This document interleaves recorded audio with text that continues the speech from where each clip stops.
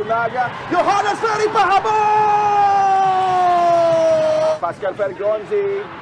Masuk di kotak penalti sebuah setup kepada Bokashvili. Menusuk tadi. Julian Armando yang terlepas. Ramiro Fergonzi. Ramai Rumaking. Satu tendangan dari Ramai Rumaking. Nasib Persipura di tangan Persija dan Persib.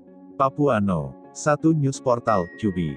Jayapura, Jubi, peluang Persipura Jayapura untuk selamat dari jurang degradasi masih terbuka usai kemenangan yang diraih atas PSIS Semarang dengan skor 4-0.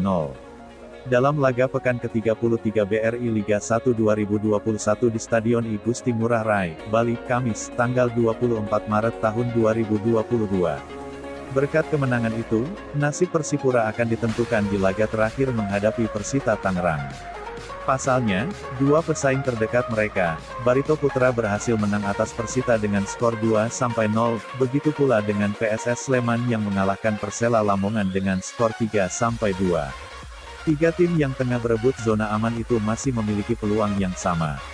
Persipura masih berada di peringkat ke-16 dengan 33 poin dan masih berjarak 2 poin dari Barito Putra di peringkat 15 35 poin, dan 3 poin dari PSS Sleman di peringkat 14 36 poin. Persipura kini menggantungkan nasib mereka pada Persija Jakarta yang akan menjadi lawan terakhir PSS, juga Persib Bandung yang akan menantang Barito. Persija dan Persib bukan lawan yang mudah bagi kedua pesaing Persipura itu. Selain berharap kemenangan di laga terakhir, tim Mutiara Hitam juga menaruh harap pada Persija dan Persib agar bisa menaklukkan PSS dan Barito.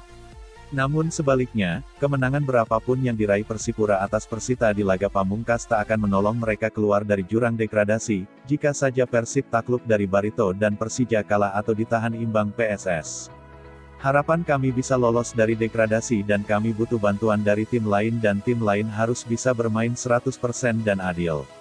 Dan tidak main asal-asalan, kata pelatih Persipura, Angel Alfredo Vera, usai pertandingan. Pemain muda Persipura, Ricky Cawor, mengaku timnya memiliki peluang yang tipis untuk bisa lolos dari degradasi, tapi ia dan rekan-rekannya masih yakin timnya bisa selamat di akhir kompetisi. Saya yakin 100%, karena saya dan rekan-rekan punya keinginan kuat untuk bisa lolos dari degradasi.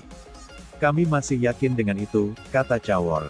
Meskipun peluang kita tipis, tapi kita masih percaya bisa lolos dari zona ini dan dengan perjuangan kami yang seperti tadi kami tunjukkan. Kami percaya bisa lolos dari degradasi, pungkasnya. Terima kasih atas menontonnya.